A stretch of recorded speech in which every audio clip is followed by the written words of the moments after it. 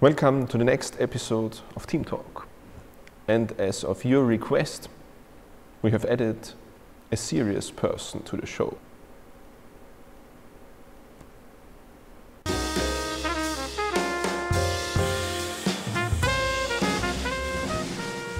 Welcome to another Team Talk episode. A mildly amusing Team Talk episode, as we are now officially not funny anymore. Let's start with uh, the feedback. Yeah. Yeah. You have supplied us with great feedback. Thanks for voting and taking participating in the survey. The results are in and they are shocking. We asked uh, the question Should Max and Sebastian try to be funny? So, this luckily excludes you completely. and 41% said yes. What? Yes. Yes, we should be funny. Oh, we should be funny. All right. No, no, we, if we should try to be funny. Try to be funny. Yes. We should try to be funny. 46% said we should better reduce it to mildly amusing. But that's good news because that means we were more than mildly amusing before. Most likely, yes. Yeah. 13% said um, scrap the fun. And the next question was uh, should we read everything off the teleprompter and have the script pre written and read it off the teleprompter? Or should we do it completely improvised? Just what comes to our mind, basically. So what was the result? The result was stunningly 80% prefer us to not read stuff. All right. Perfect, because I cannot read anyway. and I can't remember doing stuff. So, also we asked uh, people what the team talk should be about, what topics we should include, what's uh, more favorable from people. Right. And the results are that uh, the team talks should include future developments currently being evaluated and discussed, Mm-hmm. with uh, almost 90%. We should include more insights into the daily business, daily lives of things we encounter. Less people are interested in uh, events, trade shows, fairs, reports about this. That's it. nice. Speaking of developments around the axiom, in comes Who, who, Simon. who do we have here? Simon is joining us today for this team talk because we also asked people if we should include interviews with team members. And Simon is working on project Elmyra. And I guess just explain to Max or to me what is Elmyra actually? doing? Uh. So uh, Elmyra is basically a software project that we initiated during the uh, Axiom Gamma development. And the background um, thought was to have software that helps us to visualize hardware components that we're currently working on. Because we have very um, fast cycles of developing a new version of a component, for instance.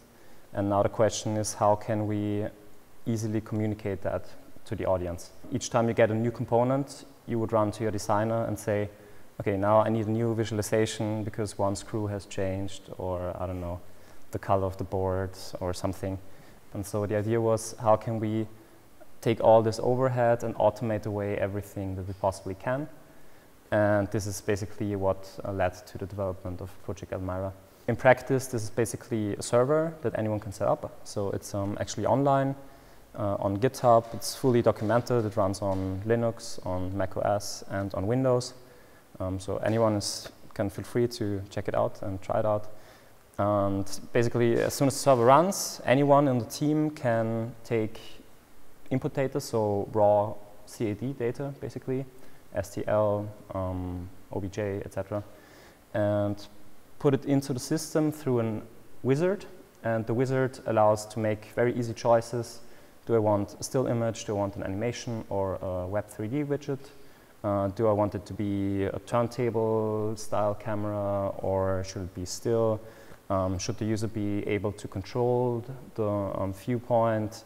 Uh, should it maybe be a cross section so they can see inside of the model? Should it be an animated cross section? All this, basically, all the types of visualizations that you classically need in um, this um, field of communicating hardware development, all this is um, easily available to anyone on the team. So also people from the press department, um, management can do this, not only the designer and the uh, hardware dude.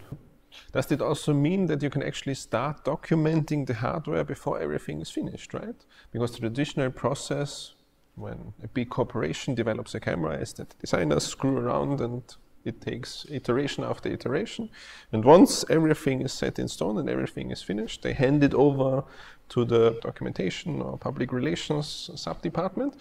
And then they make all these kind of uh, illustrations with drawn lines where the components, where the connectors are.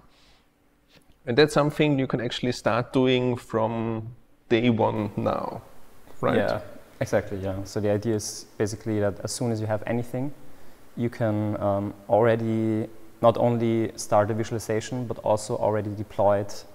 Um, e.g., you write a news article, and you just um, pick whatever you have, like the first initial hardware version, and put it through the wizard, and you get a link out of that.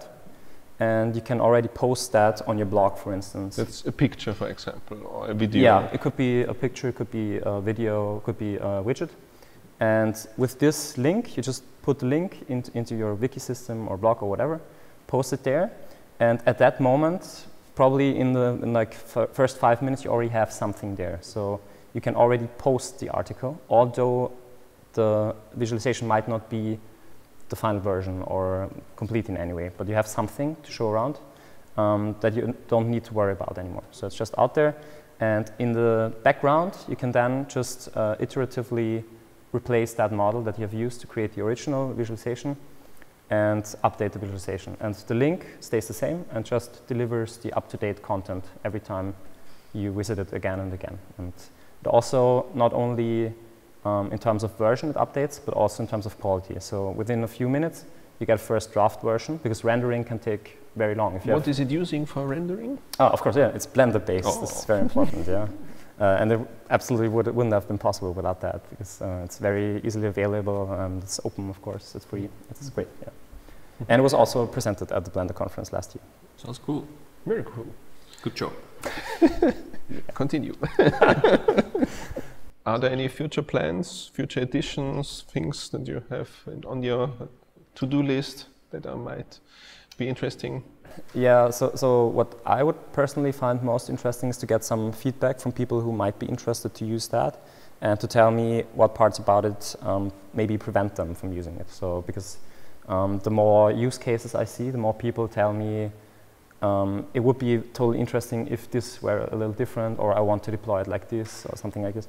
Um, this really helps to kind of find the direction it should go into because um, it shouldn't be all like theory and I think how people use the system, but I actually want to gather feedback how people want to use it, and then I'm very willing to um, listen to that and make the changes. So there's an opportunity, like you can get free changes if you give me feedback. but currently, users have to install their own instance of Elmyra on their own server, right? That's yeah, kind this, of this is how it's currently. meant to be. Yeah, but it's also very easy. So it's it's well documented. It's really um, non. I mean, you have to have some kind of technical knowledge, but it's, it's really, uh, you don't have to be a programmer or anything. It's very low barrier. Perfect. Yeah. Did somebody use this already? Uh, so far? We have a uh, running um, test installation, of course, um, and I talked to some people um, here in Vienna, um, on of course at the conference, who were interested. I, I don't know of anyone who's yet using in production. Um, yeah, so that's why, why, I'm saying it's very, it would be very cool to, to get some uh, real life feedback, like how could people use it? I'm sure many people will be interested in that once they you just have to get to yeah. know it. Yeah, I, I gotta say yeah, I'm really bad at marketing, so uh, I think I wanted to make like a screencast and spin it around a bit, but um, yeah, like then then life happens, and but at least now I'm sitting here and yeah, so let's change that. This concludes our team talk. We hope you didn't find it too offensively funny. Until next time.